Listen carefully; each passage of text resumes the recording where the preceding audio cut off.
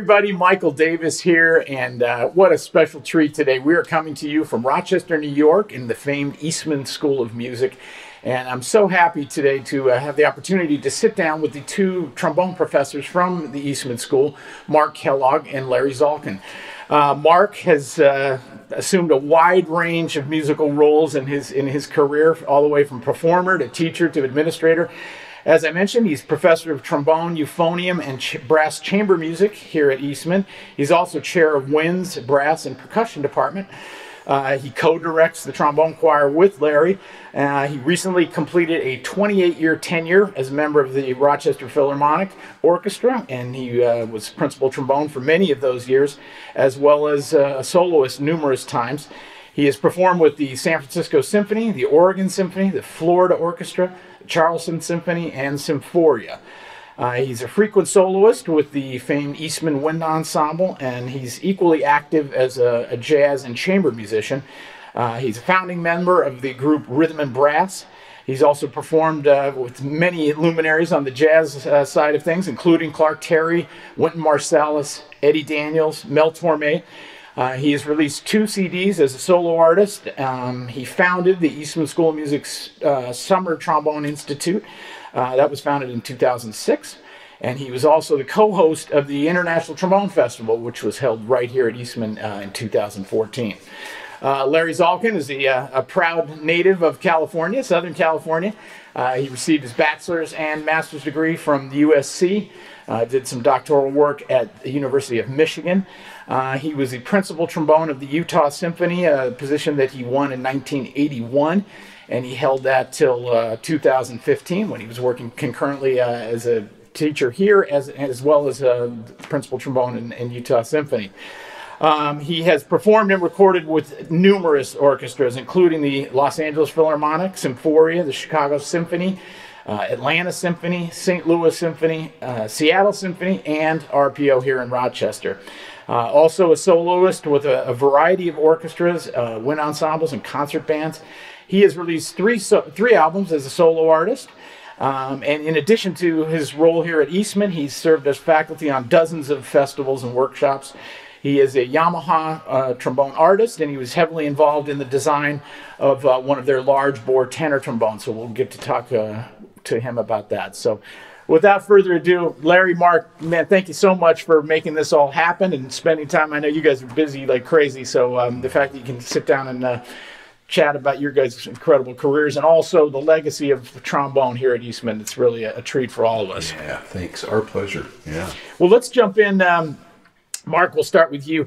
Uh, tell us about your just some of your early uh, things you did as a and what led you to music and specifically maybe what got you into the trombone? Yeah sure. So i i, I come from a, a, relatively musical family. My dad was an amateur guitarist and and uh, and uh, pianist and actually he early on in his his younger days he gigged a little bit with the the jazz singer who's from Syracuse Mark Murphy. Oh wow sure sure yeah, yeah, yeah. So he, that was kind of his his his oh, background. oh, cool. was, that was never his vocation but it was something he enjoyed doing. And he was a you know um, he and my my mom were always very very supportive of me doing anything musical which I always appreciated. Lots of you know you know, it's like the hockey moms of today or something, you know, except, yeah, right. except you know, they were, they were music parents, uh-huh. but they were always incredibly supportive. I had wonderful teachers, um, and and early early influences and um, at the public school level I had a wonderful uh, high school jazz program and and a wind ensemble program that I got to participate in and um, that really set the stage and, and I felt like it really put me in a good place to be able to come to a place like Eastman. Mm, yeah. Nice. So Larry, how about yourself? Tell us about Southern California. I'm a big California fan, being from Northern California. But, but are you a Dodger fan? oh, I'm definitely not a Dodger fan.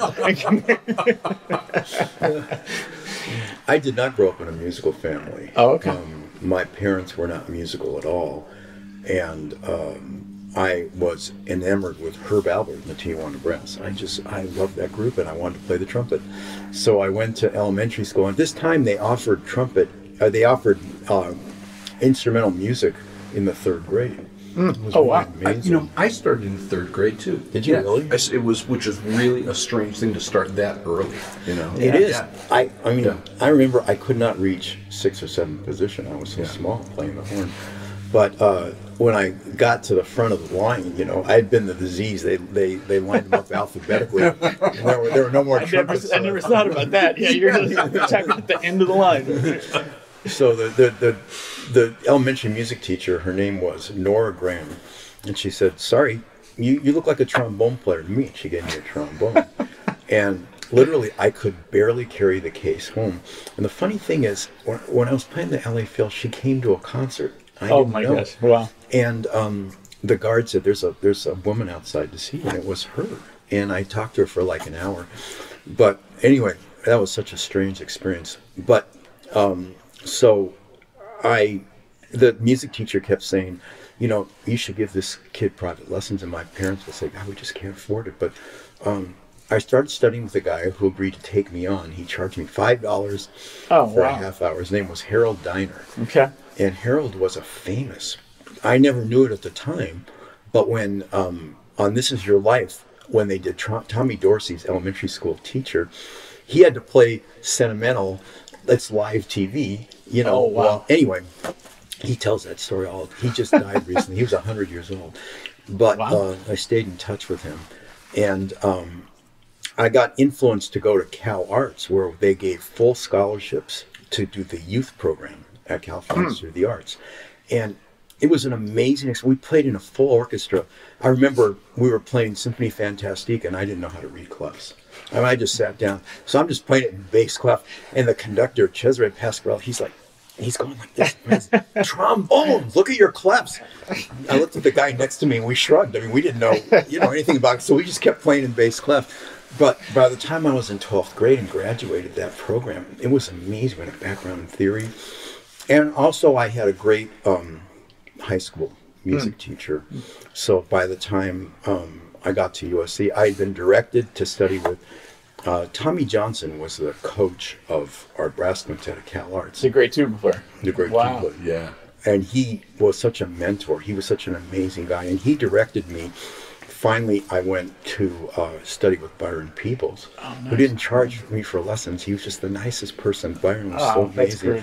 And Byron said, "You got to study with Marsteller." And I said, "Well, I, I can't. How could I do that?" So he prepared me, and I studied with Marsteller in my twelfth grade. So um, Wow. that's how Fantastic. I got. Yeah, that's how I got to USC. That's awesome. You just you brought back some nightmares to me because I was in the Santa Clara Youth Symphony and uh, had the exact same experience with the uh, tenor class. I had no idea, and it was just a nightmare. But Yeah. uh, but it was good because it forced me to learn uh, the tenor and alto clef Yeah, yeah. uh, early on. Well, let's talk a little bit about. You mentioned USC. What was the experience like? And I want to talk to Mark about Eastman. And as as as a student, well, that must have been a very USC has always been a, a really strong program. How how was the experience for you? I think the experience at Eastman was similar to the hmm. experience at USC. It was, you know, next to Eastman, I think it was the greatest faculty in the world. Yeah, I mean, yeah. the brass faculty were Marsteller, Jimmy Stamp, Vince DeRosa, and Tommy Johnson. The string faculty was Heifetz, Piatigorsky, Primrose, and the backup teachers were like Yuda Shapiro and Gabby Rido. Wow. And then, um, you know, oboe was Bill Criss, and bassoon was Herzberg, and uh, clarinet was the famous Mitchell Lurie. You know, it was just like it was Yeah. an all-star Yeah. class, Great group. and um, I just couldn't believe it. I would go to the Piatagori master. I said, I played a cello piece once, and Marcel was shaking his head, and he he just said, "What are you doing? You need to go to Piatigorsky's master class." So I went to his master class, and I would. I kept going. I just I would hear these great cellists play. It was just an, an unbelievable experience. you What know. was it like? Uh, did you study with Jimmy Stamp at all?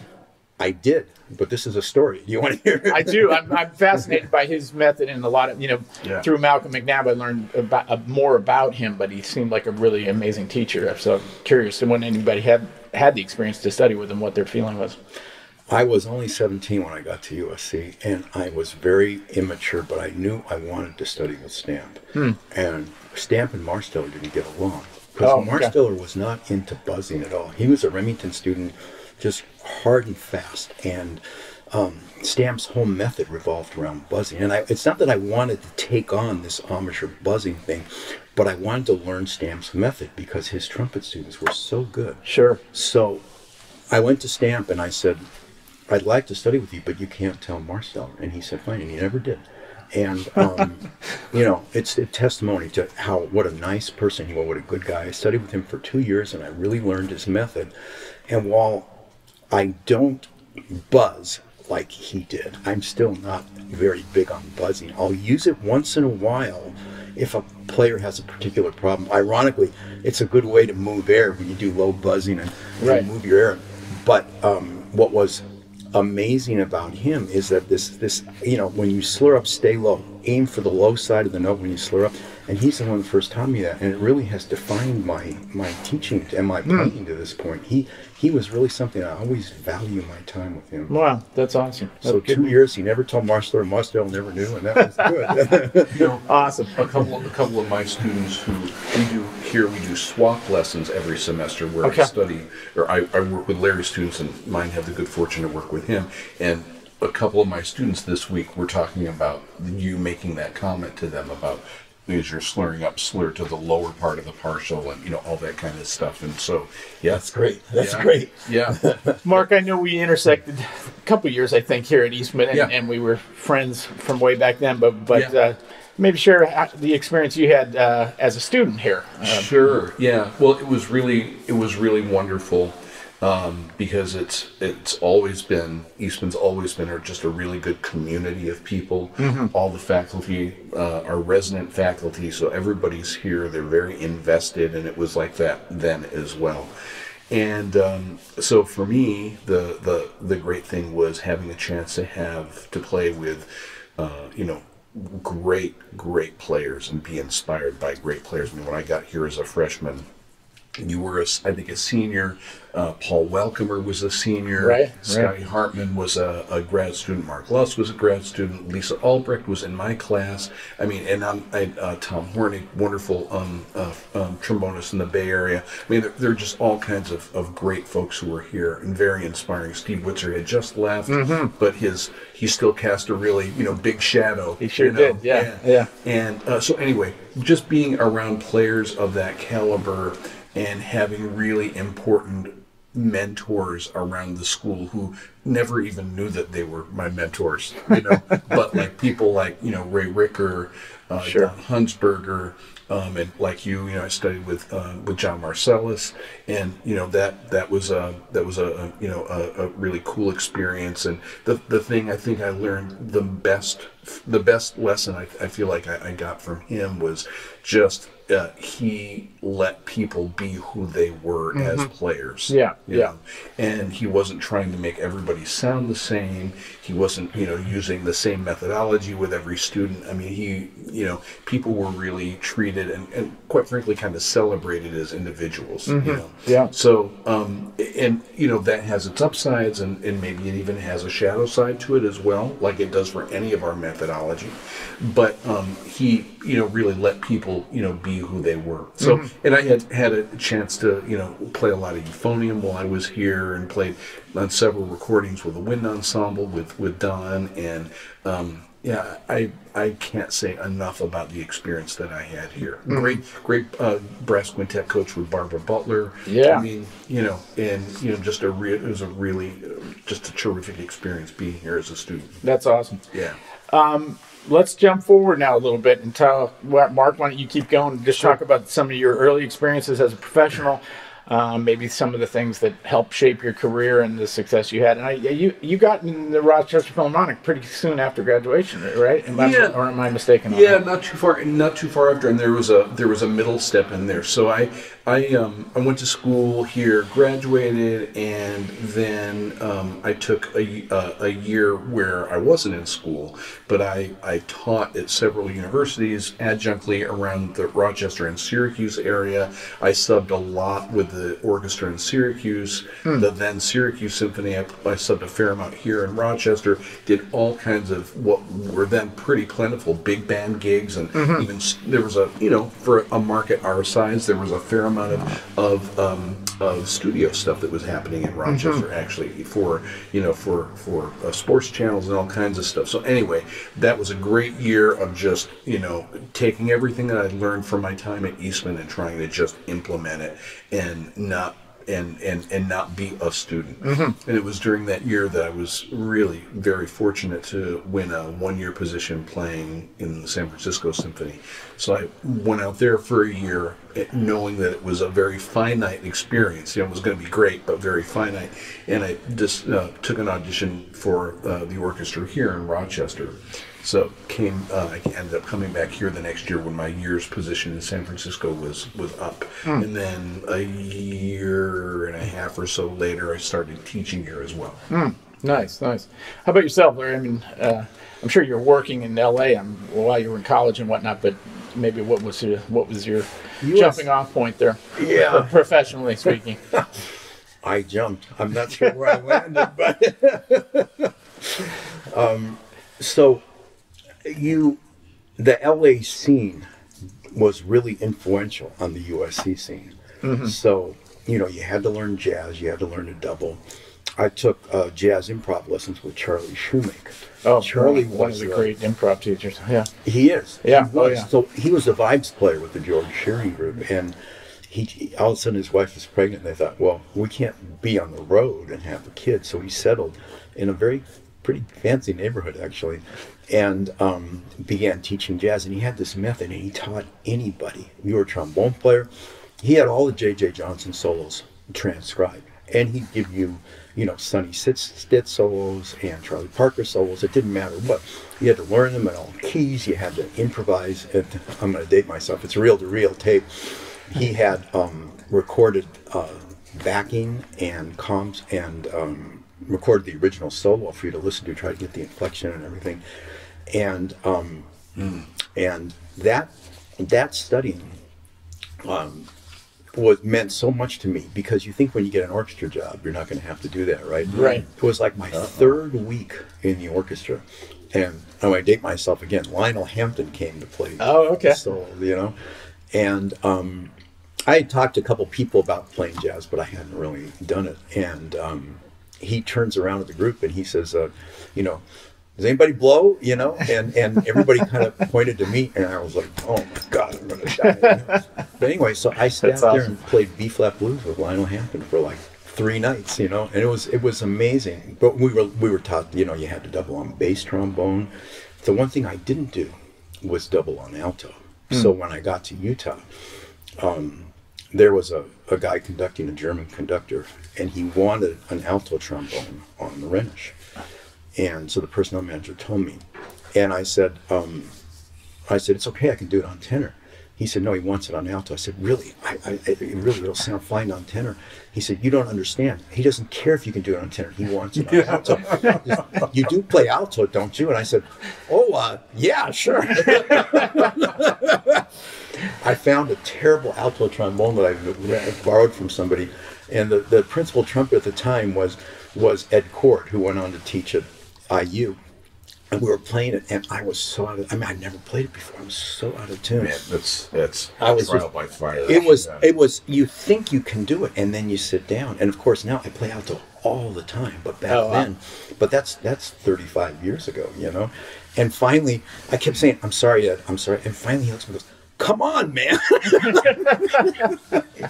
So uh, but I eventually learned how to play alto but I learned to play valves a lot because you know that's what you did in LA Yeah. and um, so by the time I got to Utah I had a pretty good solid education and in a lot of things growing up in LA did that at the time Yeah. I don't know if it's still that way Yeah, I would Yeah. think I would think it probably is, but uh, that's a great story about the alto. I know when I when I was a student here, Steve Witser, who was one, a real mentor to me, and we played in a trombone quartet together, and he loved playing alto. And he kept trying to get me to play alto. I'm like, yeah, I'm good. Yeah, I'm not going to need it. I, looking back, I wish I had kind of invested some time in it. But uh, um, you guys, uh, when I was doing the research for this, uh, looking at your guys' amazing careers, um, uh, it was really impressive how many different orchestras you guys have played with. Mark, you just mentioned San Francisco, one of the great orchestras, and in addition to your full-time positions, but going out and you know, L.A. Phil, Chicago Symphony, whatnot. Um, I was just thinking for fun, you could mention some of uh, maybe some of your favorite maestros that you've gotten to uh, to play under, and and uh, and maybe even if there's certain groups that you played with that, that really stood out to you in uh, in terms of your own musical enjoyment. I I still think, to me, I mean, a lot of classical musicians who have played with a lot of conductors are going to laugh at this, but I still think Zubin Mehta is probably the best conductor Hmm. ever. And and the last time I played with him, he yelled at me a lot during a concert. but he's Wow. still, I still think he's amazing. It's Yeah. just, it's just me. I did that year in LA with Dudamel, and everybody, you know, was asking me a lot about Dudamel. He was fantastic. Yeah. he was just incredible. But Mehta, he just had this control of things. You know, I hate to say this, I thought Lorin Maazel was really good. Hmm. Um, again, not a very nice person to work with. Ah. Uh, he didn't lay in. I fortunately he didn't lay into me on the week I worked with him, but he did lay into the principal second violinist, who was really. I mean, but he was a great, great conductor. Yeah. You know. Yeah. Wow. Interesting. How about yourself, Mark? Yeah, I um, the when I was in San Francisco, the music director was Herbert Blomstedt. Oh. He was ninety seven or something like that, and still working all the time. Wow. And, yeah. Wow. And he was a he was a very particular kind of musician. He wanted things to be like a certain way. Spont- spontaneity was not necessarily something that he um, he underscored as being super important, but solidity, and he made everybody play together really, really well. And the recordings that that orchestra did, I, I was lucky enough to be a part of, of some Nielsen and Hindemith and, and stuff like that were just are still hold up really, really well.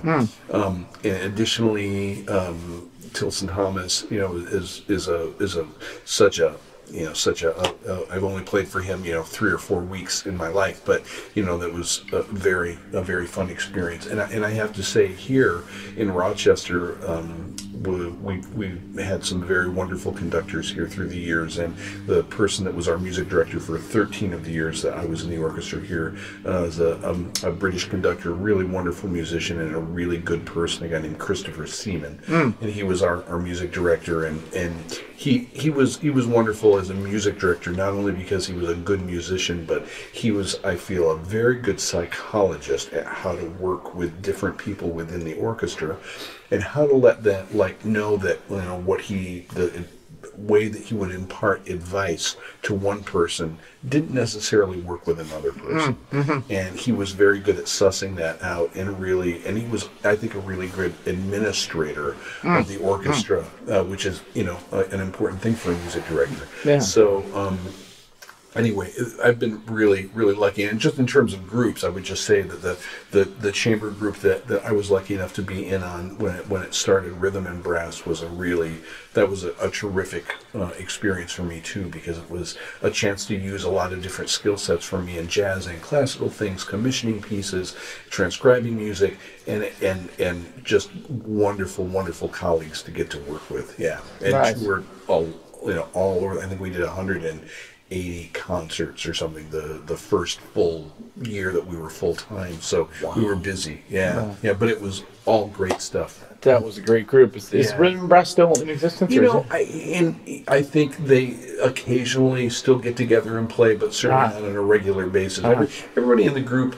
um, ended up I think prioritizing not wanting to be on the road and everybody got really nice college teaching positions and and um, and decided that that was where they were going to put their energies and but I'm still in touch with people from that that group uh, our mutual dear friend Alex Shuhan for example and Charlie Villarrubia fantastic tubist who's the who's the um, uh, tuba um, uh, professor at UT Austin Rex Richardson trumpet soloist uh, who teaches in Virginia uh, Wiff Rudd who's the Oh, right. yeah down at Baylor University. Uh, all just class classy guys and wonderful players and they were great colleagues. That's awesome. yeah Larry, I have to share this. Uh, uh, we had Phil, the great Phil Smith, an amazing former uh, principal trumpet of the New York Philharmonic. He was an early guest on our Bone to Pick series and gotten to work with Phil a lot in New York and studio stuff and whatnot.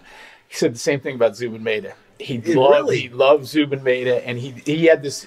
For those who uh, are watching the interview, you might want to go back and check that out. Uh, what Phil talks about, because he just said, he said Zubin was so encouraging to him and he said it, it made his job so easy to him. He, he he said he had this way of looking at Phil before a solo or something, and just like Phil, this is going to be awesome. You're going to sound great on this. Yeah. And said Phil Yeah, just yeah. felt like, wow, I can just you know play and be be myself. And he similar feeling like he just felt like Zubin was one of his his favorites as well. That's so wonderful it's hear. nice to hear that from you as well. So, um, well, let's uh, shift gears a little bit and talk about where we are in the Eastman School of Music, this amazing institution. And um, I'm sure most of our viewers know that um, this the legacy of, of trombone players coming out of Eastman is is astonishing. Probably the, this, the strongest program in any uh, school in terms of graduates and and job placement and whatnot. Largely, I think because of Emery Remington. He was the uh, I don't know if he was the first trombone teacher, but was, he was okay. Yeah. And he what taught here for almost 50 years, I think, right? Yeah, from And- the time the doors opened until he passed in 70, 1971. So either 49 or 50 years, something like that. Yeah. and and the range of of uh, incredible players. I mean, it's you know.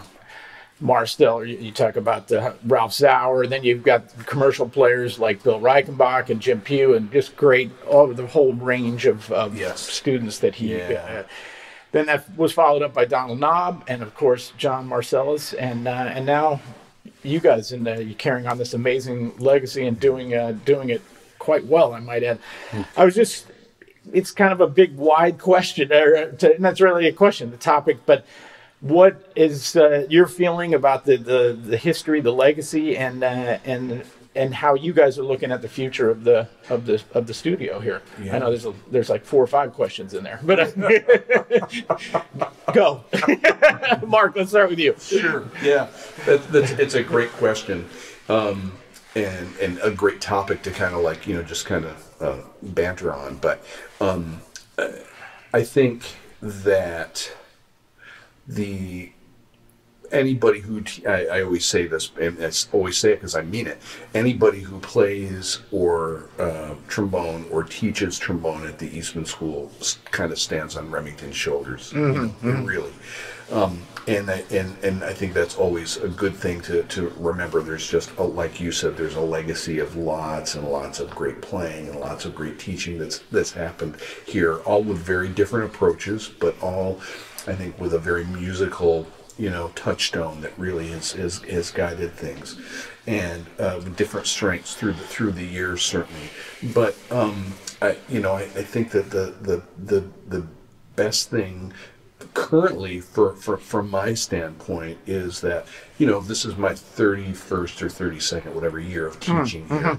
And uh, so i and i went to school here as, as you were kindly you know talked about and and so i have a certain degree for whatever it's worth of institutional memory about about what eastman has been about you know? And when when larry joined i felt like and still he has kind of this view of uh, uh, looking at things with a new set of eyes that I really value a lot, you know.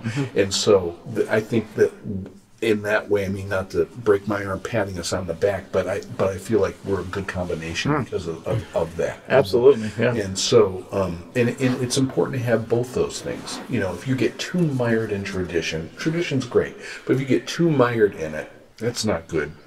And if you're trying to reinvent the wheel all the time, that's that has its downsides too. You know, so I, I really I really appreciate the combination of, of where we are right now. And I think it's it's great for, for the students. I mean, Larry and I are good friends, dear friends. Uh, we have a lot of respect for one another, and it's it's a really I think it's really important for the students to sense that. And it's and it's not like it's a hard thing to do. I mean, it's very genuine, you know. And so uh, you know, we trade students. We uh, you know we both do trombone choir together, and it's it's great for the students to see that level of cooperation because I think it sets a, a tone for the way they feel as they progress professionally. You know, so those are just some kind of off Yeah. the top things. Oh, awesome! Yeah, yeah. And so you're the new guy. What do you think, Larry? Well, Mark understates his memory a little bit. It is phenomenal. And his knowledge of, of, I learn things about this school every day because um, it's just so, it's so extensive. It, it's so deep. The, just the, the history. I was in the Eastman Theater classrooms a couple of years ago. I'd already been here three or four years. And I got lost. I couldn't get out. I had to call a student. I'm lost. How do I get out? I mean, the school is just so vast. There's just so much to it. But the one thing I'll say is it's continued its trajectory in a positive way. Mm-hmm. So in Remington's time, I mean, he was amazing. We hear one student after another. Like his students come back, they'll knock on my door. I don't know who they are. I studied with Remington back in whatever, and what incredible memories I have, and, and it's Yeah, just there's it's a- just yeah. amazing. Oh, and then the yeah. they get together. Don Hunsberger was telling me they get together on Zoom, and some of the Eastman, uh, the Remington alumni talk about. Yep. And there are so many people that want to know about this, so they go on Zoom. But um, it was a different time back then. Mm-hmm. I mean, I remember when I was looking at colleges, Eastman was like out there. This was the, the epitome of going to Mm-hmm. college. I went to USC, but um, Eastman was out there. Today, uh, you've got Juilliard, you've got Curtis, you've got Northwestern and Rice, and uh, all Indiana, these yeah. schools just everywhere. Yeah, Yeah. it's incredible. Yeah. and we have to compete with that. And um, it's not just this is where all the good trombone players go. So we work to create an environment that's really positive for the students. And what I like about Eastman, like Mark said, we're here all the time. And um, a student can come here and feel like they can meet their own needs. So they come here, whatever they want to make. I mean, just my students have, just the t- short time I've been here, they've become successful in careers that are so diverse. Mm-hmm. And I think that's where we're going today. you Yeah. know?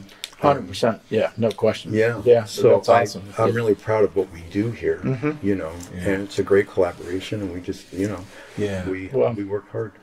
yeah. Well, as a as a trombone alum, kudos to you guys for Oh, for well. keeping the. Uh, not only keeping the tradition going, but but growing it, and and like you're saying, I think you're absolutely correct, Larry. It's it's uh, that that whatever you want to call it, versatility, creativity, however you're approaching a career as a trombonist, it's much different than it was in the, in the Remington era, and it's still. It's, I think we would all agree it's still very possible, but it's you have to you have to and you have to be open to the possibility of change and all these these different aspects of it and whatnot. Yeah, and you know uh, something that just kind of um, um, build on what Larry was saying. To me, one of the strengths of any program is is not necessarily there are lots of rubrics and lots of ways you can think about it, but but is not necessarily okay. Who got a job in a major orchestra from your class? Mm-hmm. But what are the people who didn't get a job in a major orchestra? What are they doing? Right. And are they still in music? Right. And are they still involved? Are they still fulfilled mm-hmm. and happy in music? And and I think largely our our students here are. You know, Paul Radke in the LA Phil is a student of Larry's. I've had some success with students in military bands and in in, in, in major orchestras here and in, down in Charleston, South Carolina, et, et cetera. So you know we that happens here, but also almost I think more importantly, it's you know what happens you know to people who ne- necessarily don't win a job in a full time you know mm-hmm. orchestra. People are going to have to cobble together a, a living you know these days with three or four different things that they do. It means they're going to have to be versatile. They're going to have to be well spoken. They're going to have to be able to speak and write well. Mm-hmm. They're going to have to mm-hmm. be able to you know get along with people, which is you know the most important thing you know for anybody in any job. But anyway, and that's to me that's something I'm I'm actually really proud of. Yeah, awesome. yeah. well, well said. I, I couldn't I couldn't agree more. One of the things I always find fascinating, and and I, I admire you, Mark, and I'm sure Larry it, it does it very well. As I just don't know Larry as well as, as well as I know you. Sure. Is navigating the various paths that you have to do in the academic world, and and I think that's largely why I've never gone into that because because frankly no bridge is too small for me to burn. Not quite. I'm trying to get a little Hardly. better in my in my uh, older years here but uh, but you know what i mean. How, how what, yeah. what is it like uh, you know just kind of navigating and being successful? I mean i see walking around with both you guys being here for the residency I see everybody likes you, you know, and you stick your head in, and the theory teacher, they're like, "Hey, Mark, you know, hey, Yeah. Larry," and they- it's it's good. It's a very positive thing going on. But how, how do you approach it? Yeah, well, that's a great question. The, I think it's it's very easy at any at any um, music institution for there to be a um, um, you know a dog and cat kind of relationship sometimes between academic faculty and performance faculty. You know, they both kind of are, are two fast moving trains that sometimes go in different directions. But here, I really feel like there's a, a nice cohesion between the two faculties and two different types of faculties, and um, and I and it's and it's like that you know with the, the jazz area and the classical area or the music education area and the performance faculty. I mean, there's a sure there's always going to be a sense of some bit of a silo you know that's uh-huh. going to happen.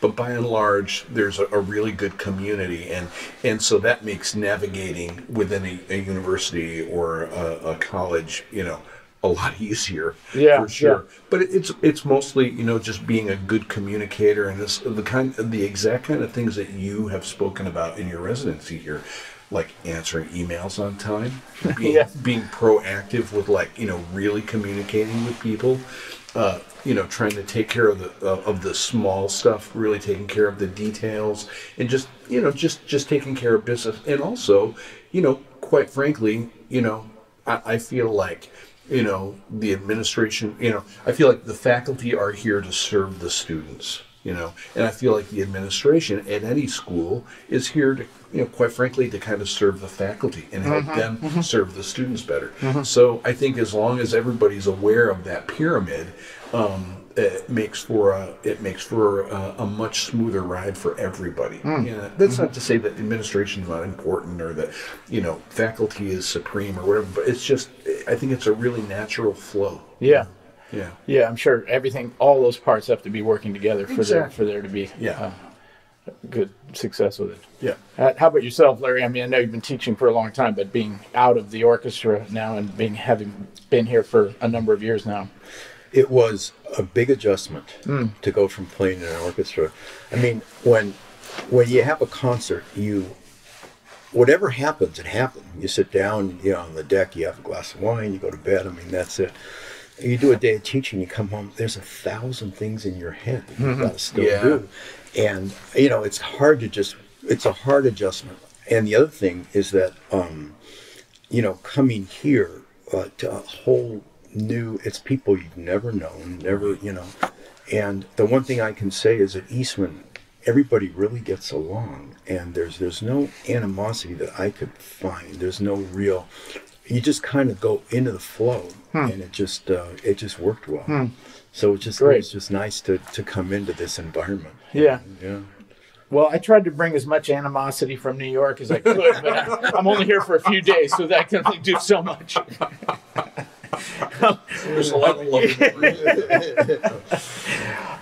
Well, this this is something that I think would be interesting to to uh, some of our viewers, and um, you know, tonight we're having the uh, the big celebration, the 80th anniversary of the trombone choir, and the big concert in the Eastman Theater, which is rare for the trombone. I don't think I ever played in the Eastman Theater with the trombone choir when I was a student here. Yeah, so right. that's awesome. Um, what's also been awesome is getting to play with your guys' students, really from top to bottom. Just a, a really fine group of, of trombonists at the school now. Um, and I'm curious what it, you can get as specific as you want. What do you look for in people that want to come to Eastman and come audition for you? What are, what are the qualities that uh, you guys are looking for in, the, in these young players? Yeah. Well, just uh, to me, I mean, yes, you want people who play with a great sound, and you want people who like have you know um, demonstrate a sense of you know technical acuity and like all those things, right? And uh, knowledge of repertoire and all that stuff. But for me, I really am interested, really interested in what someone's creative creativity is mm-hmm. like and their mm-hmm. curiosity. Mm. Curiosity to me is really, really important. Oh, interesting. Yeah. Okay. Now, it, do, you know, if you're really curious, but you play with a bad sound, does that, you know, of course, you know, of course, it's not gonna, that's not gonna, gonna, help a lot. But someone who's curious, who's always kind of striving, who's looking for new things that may- that may challenge them in a, in a new and unique way, um, and and they they they they take a bite out of that challenge. Boy, that's to me, that's that's really great.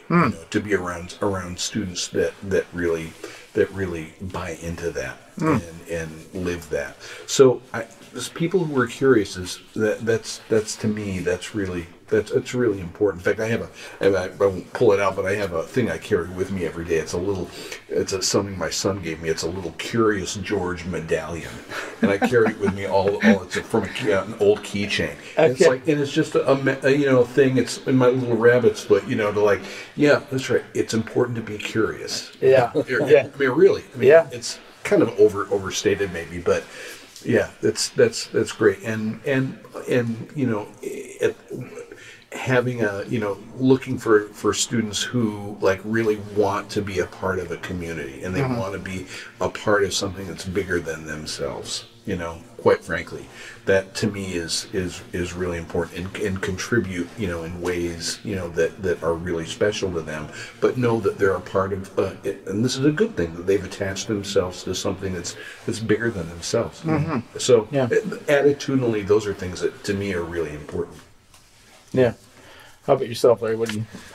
Well, when we audition at Eastman, we have an interesting process because we, we do an audition. There's a pre-screening and audition, and we do a master class after the auditions for where we get to know the student, see how they work with us, see how Yeah. they react. then we do a concert, and it's always interesting to see how these kids react to hearing our students. You know, um, and um, so a student comes in, takes a lesson, and then he does an audition. How much did he learn from that lesson? What is he incorporating into his playing? The kid takes a lesson, you tell him, you know, he's got to do all these things, and then he comes in and he's done nothing. Even though he's a good player, it's kind of telling you that maybe it's not the right fit, you know, or, um, or, you know, you can talk to the student and, and learn so much. Um, for me, I I really go for nice people. I know it sounds crazy, but I want a really good You're here. Person. Yeah, you know, yeah. to come into my studio, and we've been lucky. We've done that. Yeah. Yeah. Yeah, that's great. Yeah, I, I, So- I, I second that because just in talking to the students, it was, you know, a pleasure. You know, Yeah. really nice people and really fine young players. Terrific. Um, one of the things that I've always uh, appreciated uh, about Eastman is the fact that you can run the gamut of, of musical styles in, in your studies. Um, and I always say that in my own master classes and whatnot, that what I got out of Eastman, in addition to being around players like Mark and Steve Witser and uh, Chris Brayman, and the, the list is a, quite a long one. Yeah. Um, but it was the ensemble experience of one in the, in the afternoon I'm playing in Philharmonia, and that night we have a jazz ensemble rehearsal, and my brass quintet has a gig this weekend, and then I'm, my small group, my jazz small group is doing some. It was it set the table so well for me as a as a professional freelance person in New York because you, yeah. you know you just don't know what what it's what it's going to be, and that's part of what I love about it myself. And I think Eastman is one of the strongest programs of all of these music schools in that regard. And you guys have done a great job uh, with the trombone studio. So it's an almost an extension of your you know your playing too. You know we focused a lot on the the teaching but you guys are both still very active as players. You've uh, re- released solo projects and your solo projects run that same stylistic range. So i just wanted you to touch on you know how you approach balancing um, jazz and and for lack of a better word classical playing and i know mark you you actually are the jazz trombone teacher here Right. in addition to Yeah. being professor of trombone Yeah, so yeah. how do you how do you uh, kind of balance that? Yeah, and and then I teach euphonium here as well, you Right. know, which is something that Larry would be fully capable of, you know, of, of doing certainly because he's such a great euphonium player. But, but um, uh, yeah, it's I have my studio load here is almost always a very even split of a third and a third and a third, and Wow, so okay. I have a weekly studio class, and so um, in my studio class, the jazz players get to hear great euphonium players. The euphonium players get to hear great classical trombone majors.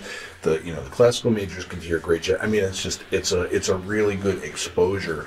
And I've had a number of students who uh, have said to me, you know, maybe they were like jazz majors, and they're like, you know those Bitsch etudes you make me maybe used to make me work on? yeah, I, am really glad you did. You know, yeah. For example, yeah, yeah you know, sure. Or or um, you know, a, a, trombone major who has found themselves teaching on a faculty and is a is in a search for a euphonium uh, faculty member and is like, man, I'm really glad I got to like check out some good euphonium playing when I was a student. I know like Festive Overture, Schoenberg Theme and Variations, the whole. So I know those pieces. You know, so it's just it's a. I think that the this the difficulty can be when well, we try and make um, we try and separate music into categories too much. You know? mm-hmm, mm-hmm. And so, you know, really trying to knock that down and say, okay, everybody in this room right now has to play with a good sound. They have to be in tune. Uh, they have to listen really carefully to what else is going on around them and copy what they're hearing.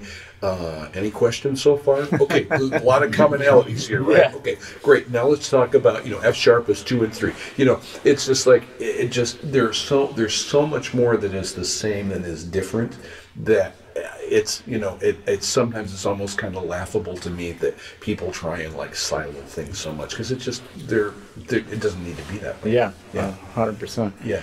How about you? I know that, that was a great story about Lionel Hampton when you're joining the orchestra. So yeah. obviously, you are comfortable, uh, you know, straddling that uh, that line. You know, it's it's interesting at Eastman. Um, we have maybe four or five jazz trombone players at a time. They're jazz majors. Yeah, yeah, six. Say. Yeah, or maybe sometimes more than that. Yeah, yeah. yeah. So that yeah. means there's four bands that have to be full. Yeah. So um, the classical students, I really encourage. We both encourage them to mm-hmm. audition for jazz band and um, they get a lot of jazz experience here. I'll tell you, you know, when I was playing with the LA Phil, we premiered a piece called City Noir by John Adams. Oh, yeah. And there's a trumpet solo in there. That It's Uan Rasey right out of Chinatown. Oh, you know I mean? yeah, okay. And I mean, the stuff you have to do when you're a, a I mean, the styles in a normal pop series are just yeah. incredible, where you have to really understand these styles. So I'm so glad that I had the experience. And we try and I think Mark and I both encourage our students to get this this commercial experience. We play a lot of your music and uh, a lot of it, which gives them a lot of challenging. Um, they they love your music. We just oh, just last week, uh, um, um, what was it called Purple Mountains? Mm-hmm. Yeah. So yeah. we did that, and, oh. and I, I, conducted badly, but I conducted.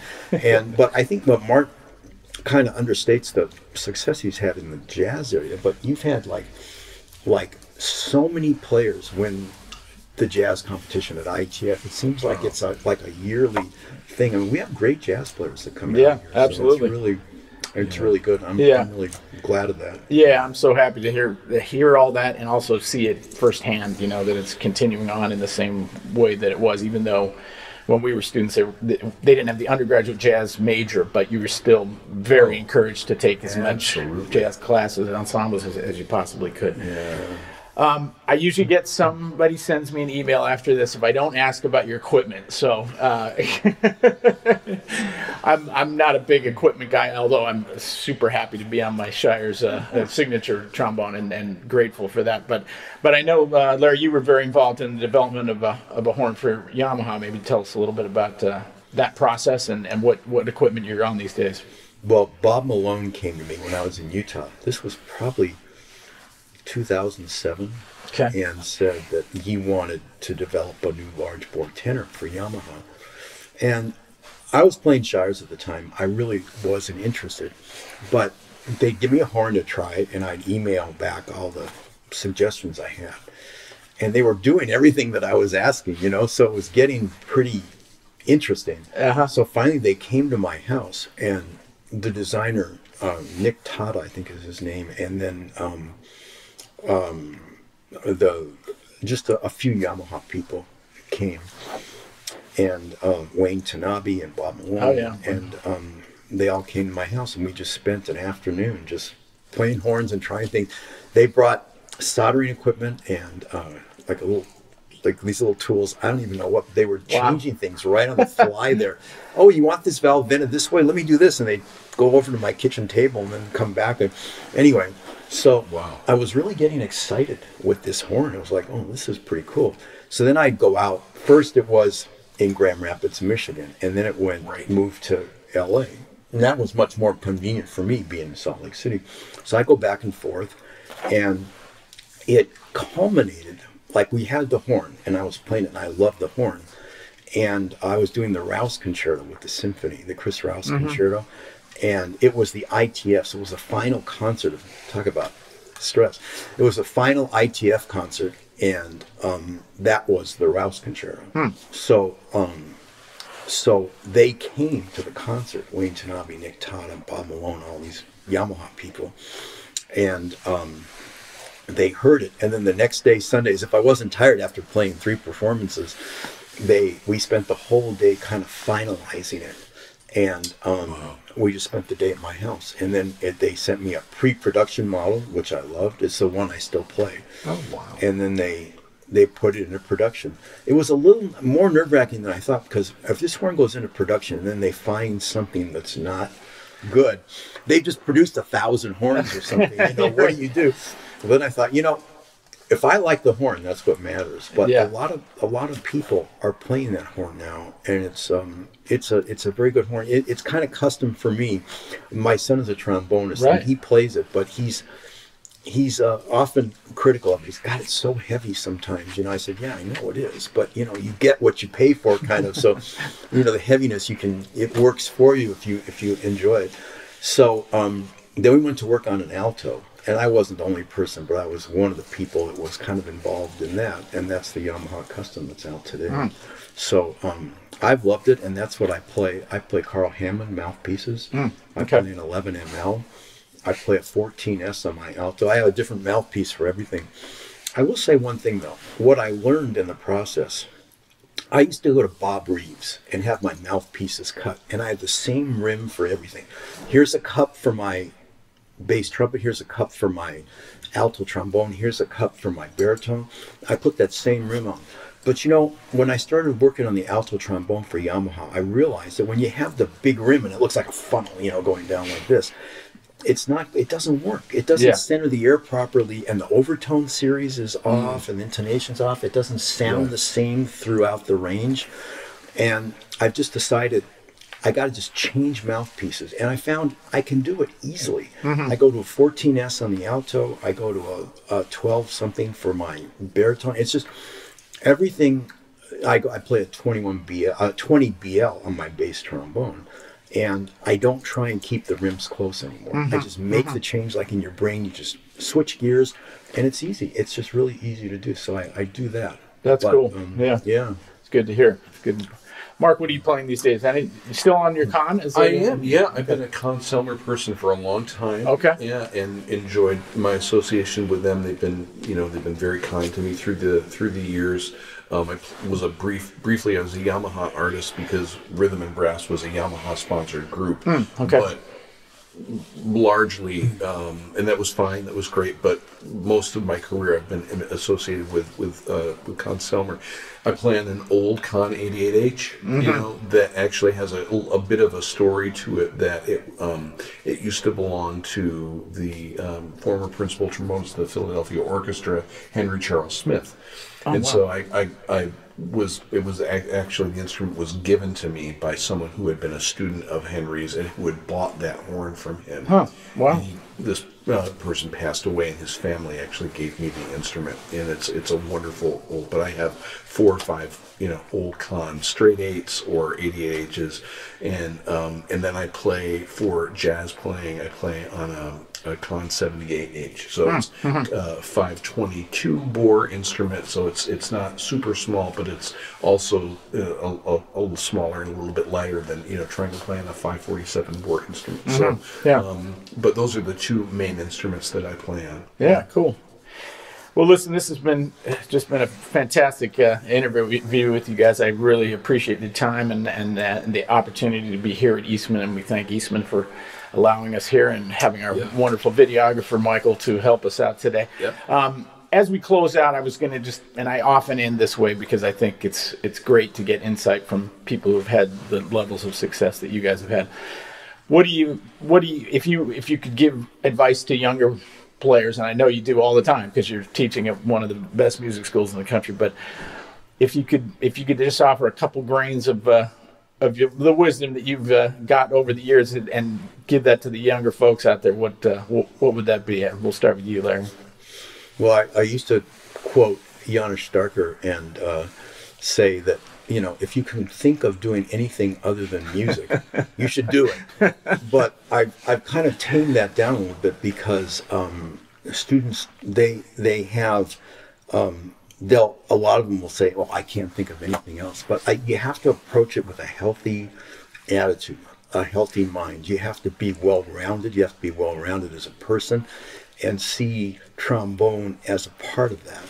Mm. And um, and I think that's the best way to proceed. Wow, good advice. Mark, how about you?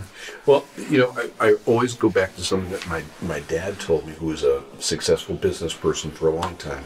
And he always used to used to tell me that nobody else is in charge of your level of enthusiasm for what you do except you. Mm-hmm.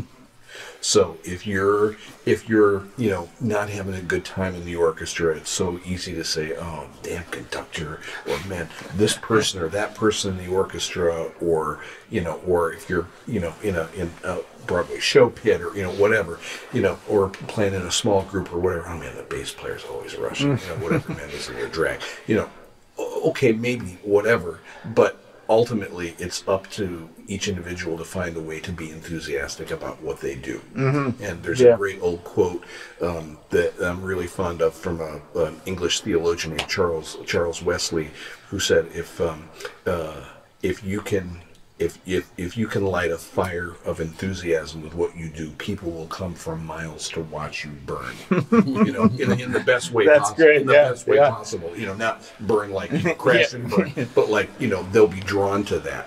And I, I think so. Having a sense of enthusiasm about about what you do and finding that, and and if you, if it's difficult for you to do that, that kind of tells you something. Sure. Too, yeah. You know? Yeah. Yeah. So um, anyway, I, would say I'd say that's the one thing I would I would pass pass along. Well, yeah. really well said. Larry, Mark, thank you again for uh, being here today and for uh, hosting this, and uh, yeah. just just great to yeah. sit down and talk about this, you know, great institution and what you get the work that you guys are doing here. Well, our pleasure, and I, thank you. Yeah, thank you, and I might say that we're really honored to have you here. Oh, thank you. And well, I mean that very sincerely. We and as we've talked about today, there are lots of great folks who've passed through, you know, Eastman uh, trombone or other instruments too, but you know, trombone, uh, and we've we've you know been lucky enough to, to have you know some of them come back and you know we're we're really happy to have you on our Mount Rushmore of alums you know so we appreciate you taking the time to be here with us. Oh man, it's totally my pleasure and, yeah. uh, and thank you for the, the kind words. So yeah. I hope everybody enjoyed this as, as much as I did today and uh, um, we will see all of you next time on Bone to Pick.